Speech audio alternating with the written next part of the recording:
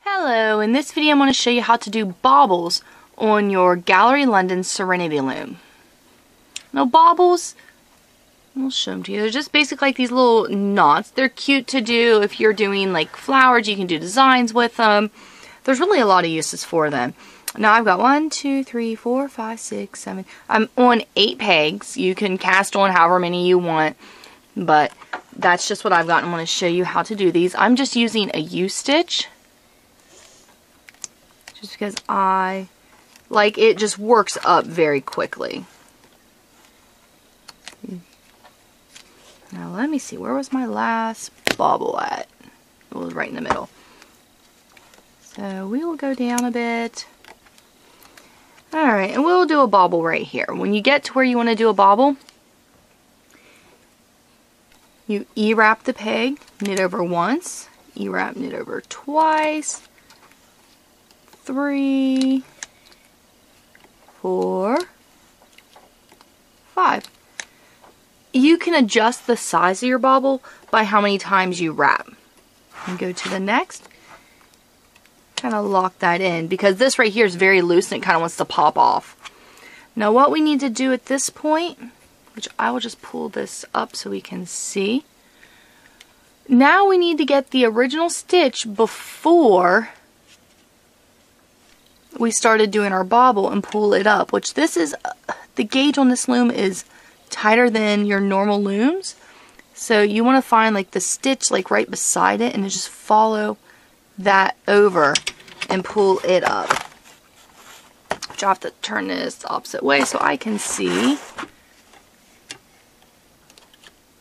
So it looks like, oops, this stitch right here and you just pull that up on the peg. Take your bottom over the top and then just, I was at the end of the road so I'm starting another row.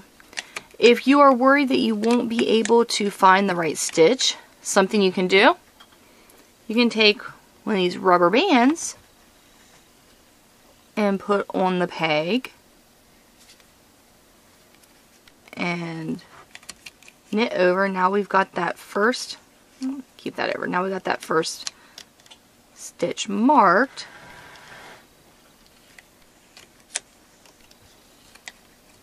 And then you go back. Okay, we're going to bobble on this one. So we E-wrap, we'll do one, two, three, oops, four, five, and then move over. Do one just to hold that in. You see here's a couple others I'd practice using the rubber bands to hold the stitches. And all you do is just cut and pull it out and it is now the hard part is just angling this so I could show you good. Let me zoom in. Okay, so we can see where this is. And we can see the stitch that it is holding. So right here is the stitch it's holding. So you want to grab that stitch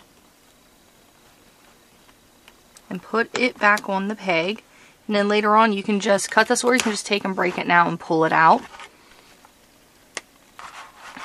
There's two, so you take bottom over the top and then you just go about your way which we already did the next one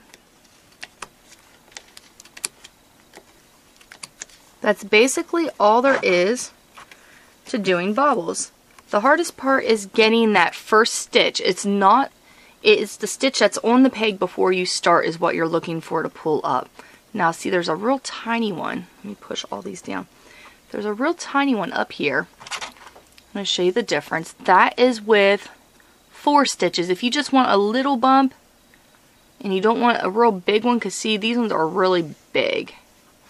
These ones are the ones with the five. This is one with four. So there you go. That is how you do bobbles. Thank you so much for watching. Any questions or comments, uh, leave them in the comment section below or you can email me. My email address is in the comment section below as well. Uh, thank you for watching and don't forget to subscribe.